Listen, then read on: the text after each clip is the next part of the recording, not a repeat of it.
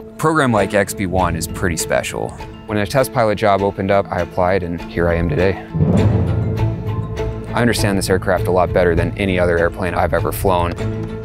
Part of that is working with the engineers who actually designed the systems and the technicians who actually built the aircraft.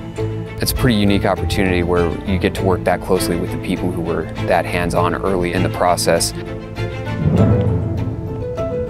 A lot of preparation goes into each test flight. We're looking to incorporate the best practices to ensure safety and efficiency.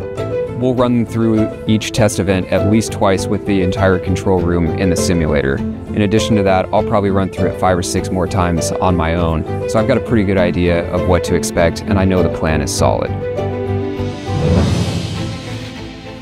Much of the flight test day comes from the days prior where we're preparing for the event, getting to understand the systems that are under test.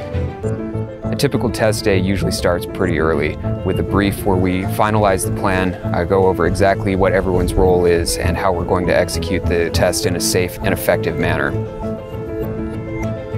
From there, we go out to the jet, go through the pre-flight inspection, normal procedures, taxi out to the runway, take off, and then we're into the test event.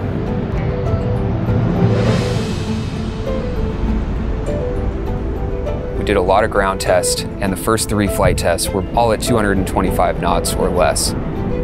Flight 4 was the first time we started expanding the envelope. What that means is taking small bites of airspeed and altitude.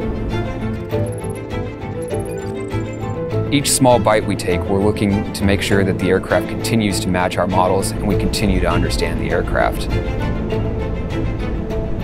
XB-1 is the first independently developed supersonic aircraft. We've developed it on our own, and I'm very excited to be a part of the team that gets to take it supersonic. My name is Tristan Brandenburg, call sign Geppetto, and I'm the chief test pilot for Boom Supersonic.